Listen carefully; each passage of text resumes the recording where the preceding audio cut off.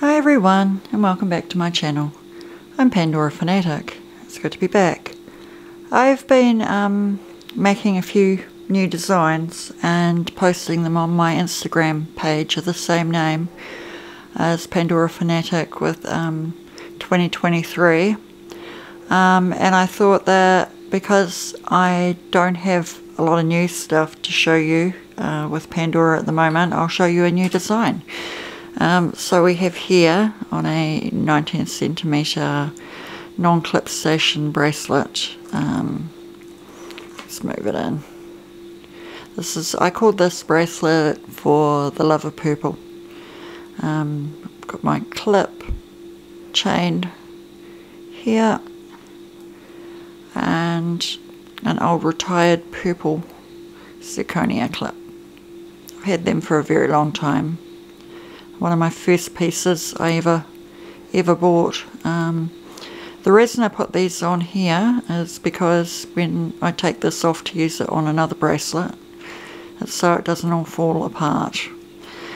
And this one here, I think was called um, Sense of Shimmer? No. Something Radiant Droplets. Something. That was an expensive charm too. Very, very pink, very pretty. We'll move on a bit closer.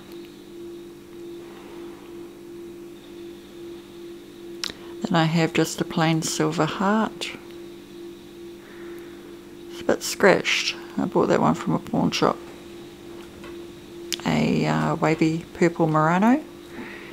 Very pretty. Very pretty. I like those so much. I bought four a um, dark, dark purple um, petite facet and one of my matching spaces for the purple clips.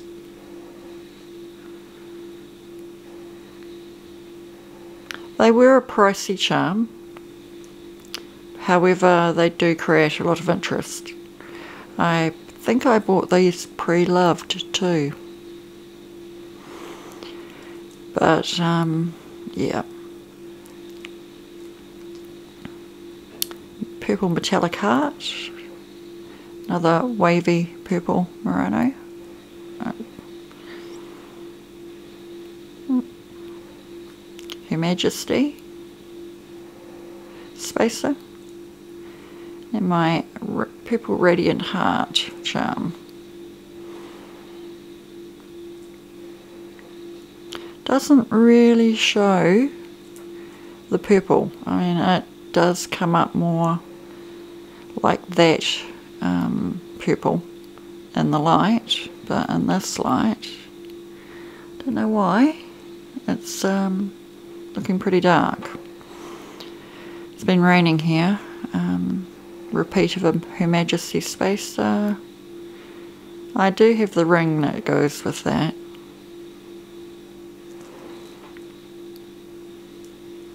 Another purple wavy Murano.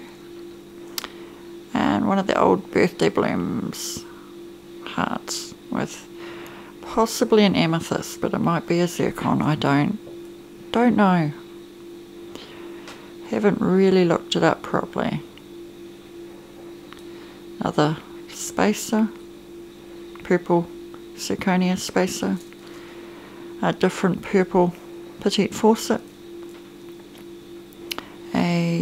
purple wavy Murano and a, Mem uh, Amour heart.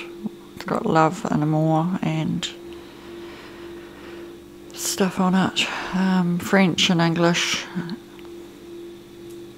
And this one here is just a plain pink pave charm. Another one of my clips and safety chain. So I was pretty chuffed with that. Uh, um, my photo on Instagram is nicer. However, um, yeah, I had taken my photograph with my amethyst ring, birthday bloom. I've got a pink opal on this finger today.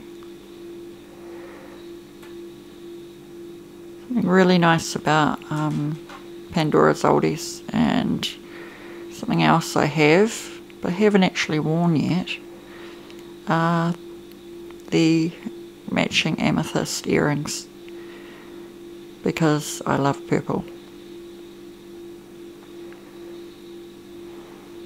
They do have a firm back, but being old Pandora, these earrings are quite heavy. Very pretty amethyst. So, I'll put these back here. Hope you guys are all having a good day, staying safe, and um, having a good day. Yep. Um, quick question for everybody out there.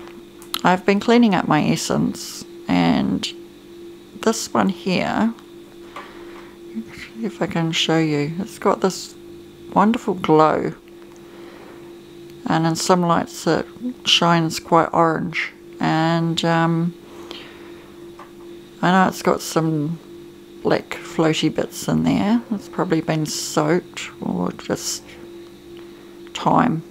I don't know. But if anyone could let me know whether or not this is an actual opal or just a opalescent um, man-made one, I would really appreciate it because I don't know what it is. It kind of looks like a sunset. It is the friendship one and um, for some reason I felt like putting just one on this bracelet. So that's about it for today. Um, those actually looked quite nice together. Um, yeah, so like if you like, um, subscribe if you haven't. I would love to have you at my channel or checking out my Instagram or both. Um, what else? Yeah, let me know in the comments uh, what you think that bead might be.